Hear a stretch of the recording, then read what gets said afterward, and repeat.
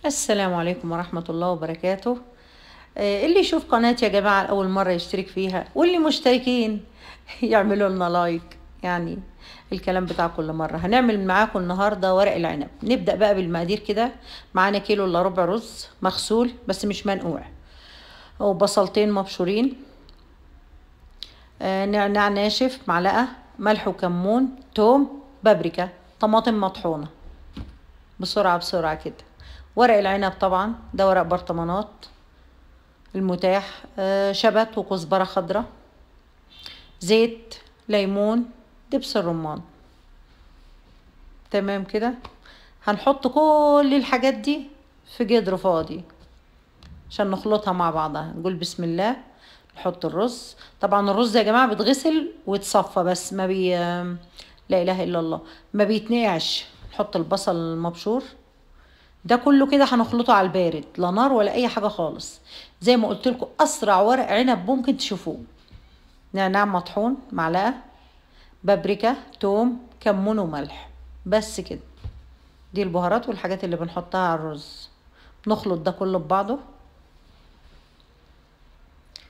وهنا بنحط الطماطم الطماطم دي طماطم عادية خالص وأنا مقطعاها وطحناها في الكبة بس مش محتاجة لا أسويها ولا أعمل تقلية ولا بصل محروق ولا أي حاجة من الحاجات الغريبة دي. آه طبعا دي الخضرة بتاعتنا وده الزيت ده زيت عادي مش زيت زيتون. زيت الزيتون حطه وهو بيتسوى. ليمون دبس الرمان يعني حوالي معلقة. نخلط بقى كل الحاجات دي ببعضها آه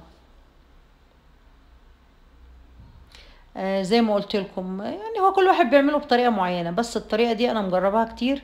طريقة حلوة وسهلة وخفيفة في نفس الوقت. زي ما قلت قبل كده أنا في, أكلي أنا بهتم إنه يكون صحي أكتر من الطعم وأكتر من وبرضه وبرضه والله الطعم بيطلع جميل جدا بإذن الله والشكل برضه بيطلع حلو. ده الورق العنب اللي في البرطمانات زي ما قلت هو ده المتاح يعني هنا في السعودية. نادرا لما بنلاقي ورق عنب طازة. لازم مسلوق يا جماعة حوالي خمس دقايق كده في مية بتغلي على النار. يعني عشان المواد الحافظة اللي فيه وعشان برضو يطرى شوية أقدر ألفه بسهولة. بطلعه كده من المية اللي هو فيه شوفوا لونها حتى يعني اتغير. وهنا في طاجن فخار بحط شرايح بطاطس. ودي الخلطة معانا اهي. ودي شمعة أنا مولعاها يعني طاقة إيجابية كده. أنا من النوع اللي يحب لما يعمل محشي يقعد في جو كويس. يعني هو مزاجي كده. لازم أقعد في جو كويس عشان أعرف أشتغل. نبدأ بقى ونقول بسم الله. زي ما قلنا قبل كده الورقة الخشنة فوق يعني اللي هنحشي عليها والورقة الناعمة بتكون هي اللي بره هي اللي بتظهر يعني. نقول بسم الله كده ونحط نحط شوية شوية من الحشوة والطرف على الطرف زي ما إحنا عارفين ونلف roll. هتطلع معانا كده. يعني زي ما قلت لكم ورق العنب في ناس بتحشيه بالطريقة اللي أنا بحشي بيها دي. أنا ولله الحمد بعرف أحشي بكل الطرق يعني. أه تحطها كده تحت على حاجة أو تحطها على طبق وتحشي. يعني هي طريقة برضو سهلة للي لسه مبتدئ عشان تتلف معاه تمام تلف معاه مظبوط. وفي الطريقة التانية اللي أنا هحشي بيها بعد شوية اللي هي على إيدي يعني عادي. أحط على إيدي الورقة وأحط الخلطة وألف. هو زي ما قلت لكم أهم حاجة في ورق العنب إن الواحد يقفل يقفل الطرفين على بعض عشان ما يفتكش يعني والرز يبدأ يطلع منه بقى. وهو بيطبخ كده يبقى شكله مش ظريف يعني دايما الست الشاطرة يا جماعة المحشي بتاعها ما يكونش طالع منه رز كتير و... والرز كده م... يعني مبهدل الدنيا وطالع على الحبة دي وطالع على دي مش حلو بيبقى شكلها مش حلو خالص زي ما قلت قبل كده التقديم وسبحان الله وإتقان الشيء في الطبخ يعني ده ده حاجة مهمة قوي. مش الطبخ لوحده. يعني إيه الفايدة إن أنا طبخة طبخ كويس وطعمه حلو بس مبهدل ومش ملفوف كويس ومش مترتب ومش مش مقدماه بشكل حلو. أنا بعتبر التقديم برضو مهم جدا. أنا بقى هنا بديت أحشي على إيدي. يعني سهل. أنا من وجهة نظري أنا يعني سبحان الله أسهل حاجة في ورق العنب إني أنا أحشي على إيدي. سهل سهل وبيجي معايا بسرعة جدا.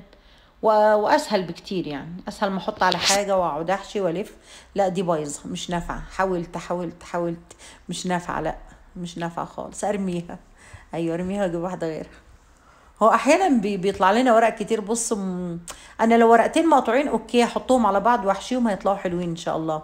لكن المقطعه من كل ناحية دي أو المهترية ما ما بتنفعش. فبضطر أرميها يعني. تمام كده. هبدأ بقى أكمل كله زي ما أنتوا شايفين كده. أنا هرجع أرص معاكم تاني في ال- في الطاجن عشان أوريكم الاتجاهات اللي برص فيها. هي مهمة برضو في تسوية ال- ورق العنب.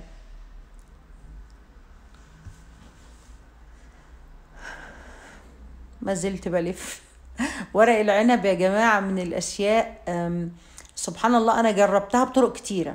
جربتها في جدر الضغط جربت ورق العنب في الجدر العادي أه، جربته في حاجات كتيرة. أكتر طريقة ظبطت معايا وحسيت إنها كويسة جدا وما خدتش معايا وقت في التسوية أه، هي طريقة الطاجن دي. إني أعمله أملاه كده وأحطه في الفرن. بيطلع جميل وزي الفل. هنا بقى حبيت أرصه قدامكم تاني أهو. هذا اللي أنا حشيته كله ما شاء الله. حوالي برطمان ونص. هنا بحط شوية زيت زيتون في القاع فوق البطاطس شرايح البطاطس وأبدأ أرص كده بقى. بص ممكن أرص كده زي ما أنا برص وممكن أرصه دواير كده يعني إيه دايرة آه، أبدأ كده من الحواف وبعدين أفضل في دايرة في دايرة في دايرة لحد ما أوصل للنص. برضو الطرق دي كلها حلوة. بس ال- الميزة يا جماعة في ورق العنب إنه لازم يكون كله إيه يعني جنب بعضه كده. قريب من بعضه متلزق في بعضه مرتبط ببعضه جامد يعني. مش مش بينه وبين بعضه فراغات. عارفين أنتوا؟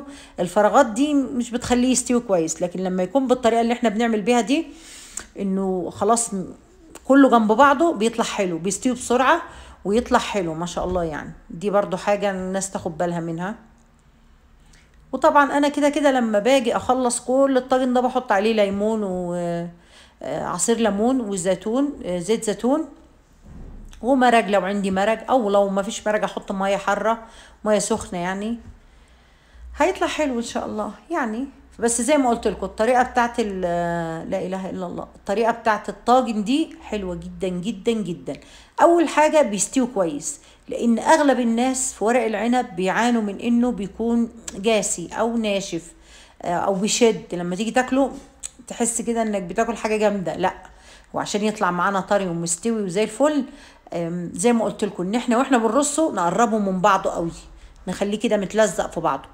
تاني حاجة الطاجن ده أو الفخار ده بيحتفظ بدرجة الحرارة بدرجة عالية فيه فبيستوي كويس. آه، تالت حاجة برضو إن هو الفرن ما شاء الله بيكون شغال من تحت ومن فوق فبي آه، شغال من تحت ومن فوق فبيظبط بيظبط جدا يعني بيظبط جدا بيبقى كويس. أنا هنا خلاص قربت اخلصه أهو. حلو زي ما قلت لكم أنا جربته بطرق كتيرة جدا. الطريقة دي أحسن طريقة ظبطت معايا. وما بتاخدش وقت. لو هو بياخد على لا إله إلا الله. لو بياخد على البوتاجاز ساعه ونص لازم نهدي عليه فترة طويلة. هياخد هنا في في الفرن ممكن ساعة. ساعة وخمس دقايق. بالظبط. ما بيحتاجش بقى إن إحنا نهدي ولا حاجة كله على نار واحدة على أعلى درجة عادي بس أحطه في النص. أحطه في النص وهيطلع كويس إن شاء الله. هنا خلاص رصيته كله أهو زي ما إحنا شايفين. كويس كده. تمام. أيوه محبش أنا الرز اللي طالع منه ده.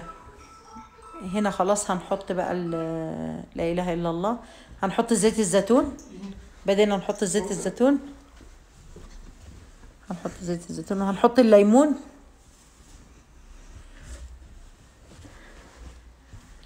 وهنحط المرقة بقى اللي عندنا. أنا كان عندي مرقة لحم أو مرقة دجاج أو لو ما فيش بصوا آه، موية حارة. ده يتحط له حوالي كاستين ونص. موية حارة مع الليمون مع زيت الزيتون. هيطلع حلو إن شاء الله. بغطيه بقى بورق ألمونيوم وأدخله الفرن. ما خدش في الفرن حوالي ساعة ساعة وخمس دقايق. آه، الفرن كان سخن ما شاء الله. فظبطه تمام يعني. كده بقى بدخله الفرن. بسيبه بحطه في الفرن وأسيبه. وبعد ساعة ساعة وخمس دقايق أطلعه. بسم الله هنا طلعته من الفرن. بسم الله ما شاء الله أهو. جميل جميل جميل خالص يعني. باخد واحدة كده أشوف. لا حلو حلو ما شاء الله. أيوه حلو.